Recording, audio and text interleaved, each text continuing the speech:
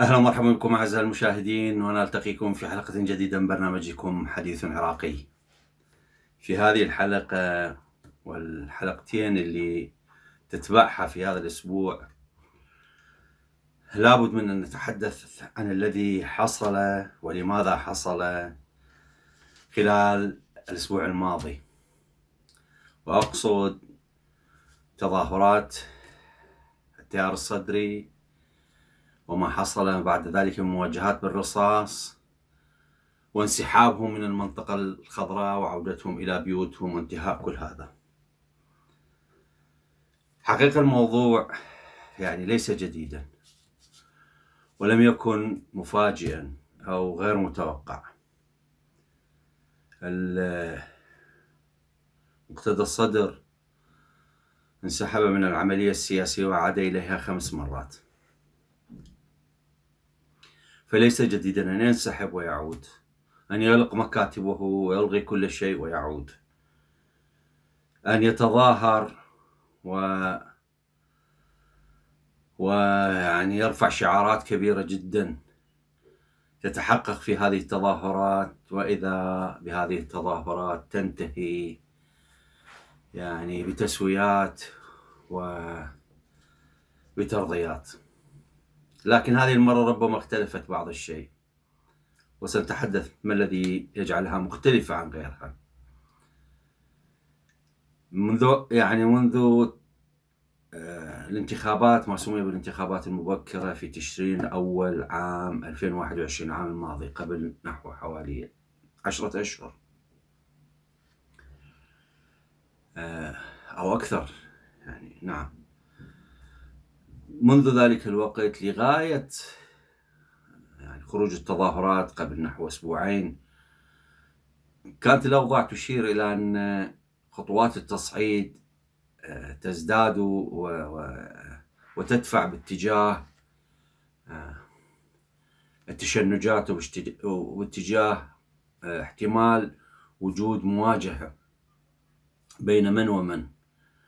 طبعا دائما علينا أن نقول أن العملية السياسية دائما وهذا هو الأساس في كل ذلك أن هذه العملية السياسية هذه العملية السياسية التي جاءت للعراق بكل المآسي وكل الضيم وكل مخرجاتها فساد وقراب ودمار وطائفية وتمزيق وتشتيت للشعب. هذه العملية السياسية أسست من قبل الاحتلال الأمريكي وبموافقة الاحتلال الإيراني وبدعم منه ورضا وسعادة منه على أساس المحاصصات الطائفية والعرقية.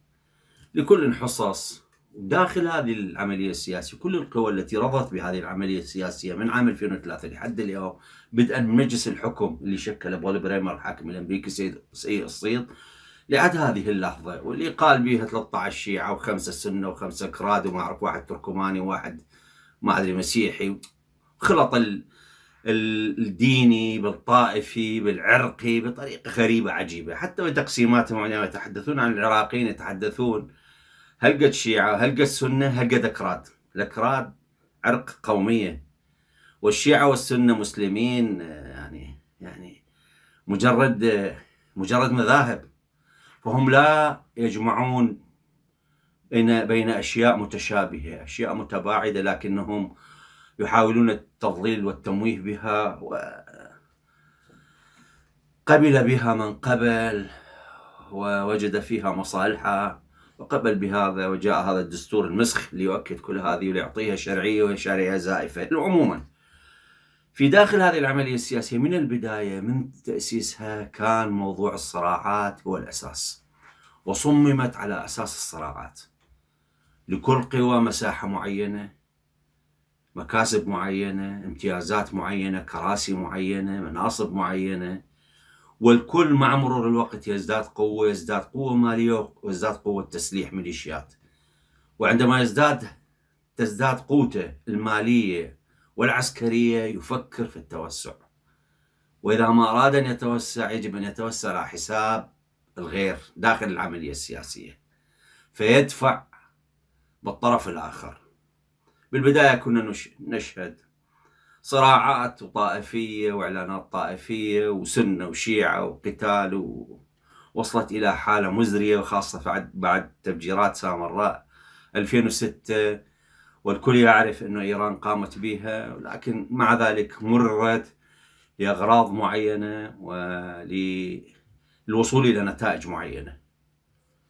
بعد كل هذا وصلوا إلى حالة وخاصة عندما انخفضت أسعار النفط. يعني ربما في عام 2019 قبلها بدأت الأسعار تنخفض وبعد ذلك ارتفعت. عندما انخفضت أسعار النفط وصلت الحالة أنه هذه ما يسمونها دولة وهي هي ليست دولة الحقيقة غير قادرة والحكومة غير قادرة على أن توفر حتى يعني المبالغ الخاصة لرواتب الموظفين والمتقاعدين. فبدأت تستدين من الخارج والداخل لكي تكمل ما يعني آه، ما يجود عليها النفط النفط يبيعوا وصل سعر البرميل ربما 20 أو 22 أو أقل فبالتالي المبالغ لا تكفي كانوا كانوا يستدينون من الخارج ومن صندوق النقد ومن دول ومن كثير ومن الداخل ويدفعون الرواتب ويدفعون لا يستطيعون أن يفعلوا أي شيء. هذا الموضوع أشعر كل قوى العملية السياسية قواها التي صممت يعني التي وجدت لأجل المكاسب على أنه هناك المكسب المالي بدأ يقل ويجب السيطرة ويجب الاستحواذ ويجب التمدد. هذا واحد من العوامل والعامل الآخر أنه دائما ما كانت هذه القوى التي في العملية السياسية تحاول أن تثبت كل كل كل كل فصيل من هذه الفصائل الموجودة كل مجموعة من هذه المجاميع الموجودة في العملية السياسية تريد أن تثبت للرعاة والرعاة الأساسيين هم أمريكا وإيران وبالذات لإيران يريدون أن يثبتوا أنهم هم الأجدر بالقيادة هم الأجدر في قيادة هذا القطيع كله اللي بالعملية السياسية. فبالتالي قوى العملية السياسية وأقصد هنا القوى الحزبية التي تدعي الانتماء إلى ما يسمى البيت الشيعي. هذه القوى بعد أن انتهت من كل شيء كان كان هناك شعور لدى كل قادة هذه هذه المجاميع وهذه القوى التي داخل العملية السياسية أن إن كل كل مسؤول عنهم يشعر إنه هو هو الأجدر وهو هو الأكثر قدرة على قيادة هذا هذا القطيع. وجرت كثير من المنازعات والكثير من المشاكسات والكثير من الصدامات بسبب هذا الموضوع وهذا ليس جديدا. يعني نعود إلى سنوات طويلة نرجع إلى 2009 وغيرها والمالك عندما اصطدم بالتيار الصدري وراح للبصرة. وهذه قضية أموال وقضية مكاسب وقضية موانئ و و ومخافر حدودية وما أعرف شنو منافذ حدودية مصائب كبيرة أموال كبيرة جدا جدا ومطارات و... وجيش وشرطة وقوى أمنية وسلاح ومخدرات قضية كبيرة. فبالتالي هكذا. طلعت ثورة تشرين عام 2019 وأسقطت كل كل هذا الفكر. لانهم كانوا يعتقدون وكانوا يقولون إنه الحاضنة الشيعية هذه تتبنى فكرنا. وإذا بالشباب الصغير هذا الشباب اللي كانوا يغذونه بالطائفية بقوة خرج ضد الطائفية وعابر للطائفية وكاره لهم وحرق مقراتهم وحرق أحزابهم في كل مناطق الجنوب وكفر بهم وطالبهم بالرحيل عن العراق وطالب بالوطن. وإذا بهم أمام مفاجأة كبيرة جدا جدا واجهوها بالرصاص وقتلوا أكثر من ألف من الشباب العراقي وجرحوا حوالي 30 ألف. وتدخل التيار الصدري وأصحاب القبعات الزرق وما أعرف منو والسلام وبالتالي انقلبوا عليهم وعادت الأمور كما كانت. واضطر واضطر ثوار تشرين الانسحاب إلى بيوتهم أو إلى مناطقهم خوفا من هذه الملاحقات والاغتيالات والقتل.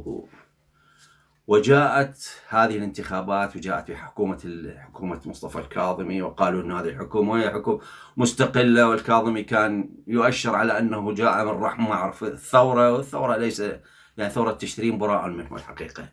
اتفقوا على أن يكون شخصية هناك يعني تحفظ العملية السياسية وتحفظ مسيرتها. فلذلك جاءوا به وكان ما كان.